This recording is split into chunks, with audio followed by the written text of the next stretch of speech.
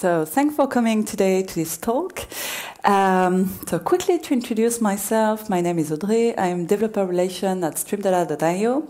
I'm also the co-leader in France of Devoxx for Kids, which I hope you all know. Uh, if you don't, we got a buff this uh, uh, tonight at eight, I think. So feel free to come. Um, so my goal today is to live code a mobile application which will give us the internal spaceship station position in real time. So I got less than 15 minutes 15 minutes to do it. And it has to be iOS and Android compatible. So to retrieve the, uh, the, position of the ISS, I'm going to use this API, which is open source. You can find it on GitHub, find the whole code on GitHub. It's pretty cool. And to win the bet, I'm going to use um, Ionic for the mobile hybrid part of the challenge. And for the real-time part of the challenge, I'm going to use streamdata.io, which is a proxy available as SaaS mode, which turns every JSON API into a stream of data. So Ionic, um, we're going to quickly introduce Ionic for those who those um, of you who don't know about it, uh, it's based on AngularJS and Apache Cordova. So if we want to make parallel, we can think uh, about Ionic as the Twitter Bootstrap, but for mobile hybrid applications. That what his creator, uh, their creator was having in mind. Um, they were looking to have a framework component-based uh, with which we can easily design mobile application which works on every devices, which looks great, native, beautiful, without being a CSS master, which is not my case. And I think I think they, they really make make it. It's a really cool framework. So an Ionic application looks like this. It's a hybrid mobile application, which means that it's a web view bundled into a native application. Web view is simply a browser. So we are going to use HTML5, CSS, and JavaScript for the interface. If you, if you like to use um, Sass and less, you can also. And then we are going to use um, Ionic framework components. So Ionic comes with a bundle of components um, it can be uh, services or it can be front-end component like you got a very nice spinner for example which can already use uh, by just calling the good method uh, in your code. All the logic behind is already implemented. It's already beautifully designed in css you can customize it if you need. So you're going to design your application in a really fast way then we are going to use AngularJS for all the business logic, which means that we are going to have directive and services, and we are going to use the Angular router system, for example. So if you are familiar with Angular, you will be very comfortable with the code we are going to see. And then we got Cordova, uh, who will be in charge, which will be in charge of two very important tasks. The first one is um, it will give us access to all the uh, material APIs. So if you plan to use the camera or Bluetooth or whatever, you will do this with Cordova. And then it will be in charge of compiling the applications towards native platform. So now talking about real time. So when we are talking about real time, usually we are thinking about long polling. And long polling is not a perfect solution. So it's what you're seeing on the schema there. I'm making a request waiting for the answer, making the same request again, waiting for the answer, and so on and so forth. So it works, obviously, uh, but you will probably make a lot of useless calls, retrieve empty responses, same data a few times. How are you going to deal the, with data you've been missing if the connection is dropped for any reason? And here in our use case, the data is changing every second. I'm not sure it's the best way to pull the API every second for a mobile application. WebSockets isn't a solution. It's uh, well known. It's a very cool technology. It supports uh, binary. It's bidirectional, which means that you can exchange data between the, the server and the client in both directions. Um, the problem with WebSocket is that it, has, it gets its own protocol, which is a TCP-based protocol, so you get to reconfigure your proxy and load balancer. We will not have time to do this in 50 minutes. So it's a little bit over engineering for our use case because we are only going to send data from the server to the client, and this is going to be just text. So we're going to use server-sent events, which is a very cool push technologies, which basically, once the connection is open between the client and the server, open a streaming channel where the data can be pushed by the server to the client as they happen. It only supports text, but that's fine for our use case. So that's the reason why we, we've created streamdata.io.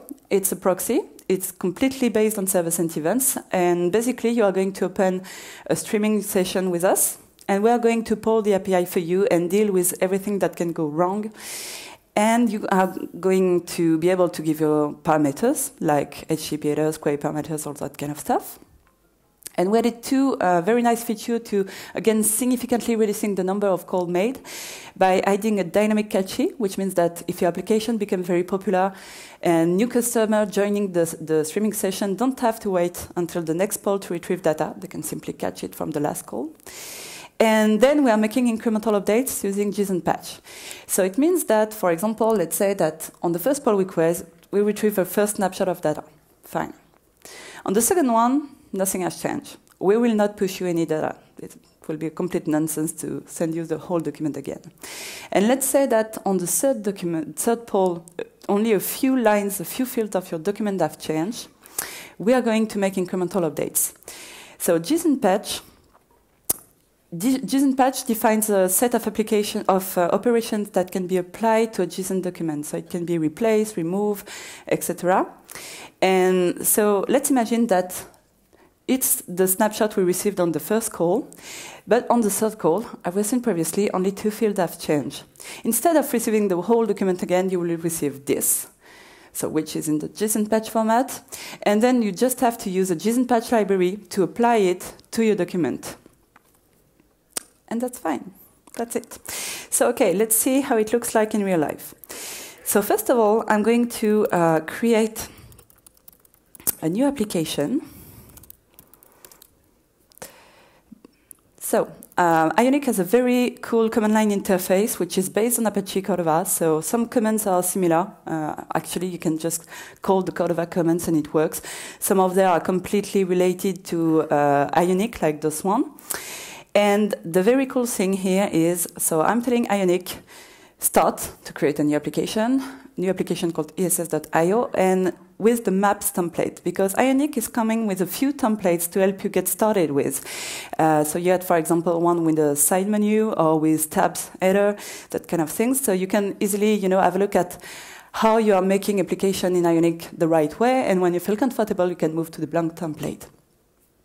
So here it has added an iOS application by default because as I'm working on the OS X, it has automatically added the iOS uh, platform Unfortunately, if you're not working on iOS, you will not be able to test your application on uh, an emulator of iPhone. You will still be able to test on Android, don't worry, and you will be able to compile things to Ionic uh, tools, online tools. So let's dive into our application and see what it looks like. So I'm going to call the serve dash dash lab command. And this command actually displays this view, which is very nice. It's an emulator in the browser. It gives me uh, both rendering in iOS and Android because there is a few differences. Just keep in mind if you're using it that you can't emulate everything. Uh, you won't be able to emulate every material APIs, for example, but that's still great to debug some CSS, for example. So here we got a map which is centered on the Ionic headquarters. That's pretty fine. We're going to see how the application looks like. So first of all, there is a few things I need to uh, install in the application. So I'm going to modify the bower.json file to add actually the stream data JS uh, npm package and the fast JSON patch package I'm going to use to apply my patch. So an application, uh, an Ionic application looks like this. It's it's really a Cordova application. So you get a hooks folder for all the compilation tasks, pre, post, etc. You get a platform folder with, as you can guess, the iOS platform. You get a plugin folder where Ionic is going to install all plugins you're going to use. But the folder which is going to interest us today is the SwiftW, because it's the one where, where we are going to work. So uh, if we have a look at the index HTML file, we can see that it's a classic Angular application. We got an ng app and an ng controller. Uh, we got here a map object, which in, in fact is just a directive. Let's zoom in. So this directive actually declares a map option subject and a map object. So they are both JavaScript objects from the Google Map APIs. Um, pretty fine, but we're going to modify a little, little bit to fit our use case. So first of all, I'm going to declare a lat long object. Uh, so here I'm giving it Cap Canaveral position. And then I'm going to recreate a new map options object. I'm going to deactivate Street View Control and tell it to be on the satellite view. So if we're going back to our application, okay, looks better. So now we would like to have um, a marker, you know, to follow the, the ISS on the map. So we are going to declare it. So it's just another Google Maps um, API object, which takes the position 2 and the map. And we are going, going to give it this very nice icon. And once again, if we are going back, perfect. So now, as you can see, there is a method there calling onCreate, which has the map as parameters. In fact, this method is used to uh, give the controller handle on the um, on the map object. So obviously, it will need to have the marker object too, which we are going to give it here. So we are going to add ISS marker and say scope. Hmm. We're going to give it here too. And finally, there.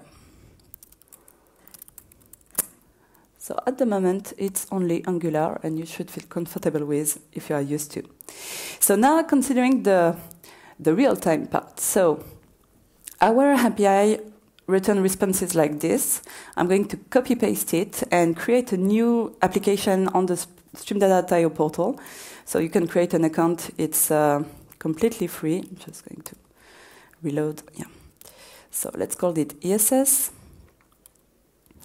And here, so a token has been generated, which I will need to open my streaming session. I can copy paste my API there to give it a try, you know, to see what it looks like streaming data from this API in a terminal. So I'm going to copy paste this curl command there. And if I run it there, so the streaming session is open. I received a first event called data. That's my first snapshot. And then I received an event called patch with the new coordinates. And once this is done, I can go back to the My API section and edit the polling frequency, which by default is at 5 seconds. So here I would like to have 1 second instead, because I know the position is refreshed every it's. And if you get HTTP headers or query parameters to add, that's where you're going to add them to. So now let's go back to the terminal, and we can see that the polling frequency has already been updated without closing and reopening the stream. That's pretty cool. So let's see how we are making it in our application. So first of all, I need to import uh, both libraries. No, that's not this one. Both libraries I've installed with Bower. And then in the controller, I'm going to create an event source object because that's the way you are uh, dealing with server-sent events. So I'm going to declare the SD token and the API I want to stream, which I can simply take from my curl command. So this is it. And this one. Okay, once this is done, I'm going to create an event source by calling the streamdata.io create event source method and giving it the API and the token as parameters. Once this is done, I can register to different callback. The first one I would like to register to is on data for to retrieve the first snapshot of data. So it has, it will return a function. Um, and here I'm going to assign my snapshot to an object called ISS position. Okay, and then I would like to register to another event called onPatch to retrieve patches quite obvious. And here I'm going to use the JSON patch library we've mentioned previously.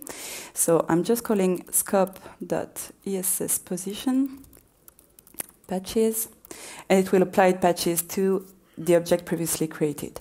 So now, obviously, I need a method to refresh the view. So I'm going to call uh, refresh map method, which basically is just um, it's just going to recreate a lat long object as we have seen previously in the directive with new coordinates and pass them to the map and the marker. So I need to call this method obviously in both listener. And to really start streaming, I need to call the open method on my event source. And so just checking, yeah, got my libraries there. So if we are going back to the application, so yeah, it happens sometimes. Uh, it's still in beta mode, so sometimes it doesn't refresh properly both views. So let's refresh it again, better. And we can see it moving. And that's it.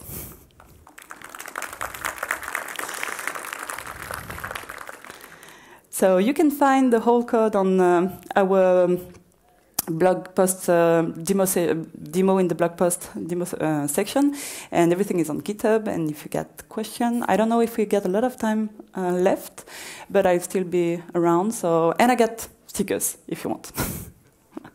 Questions, anyone? Okay, fine. So let's come and see me if you get questions after. Thank you.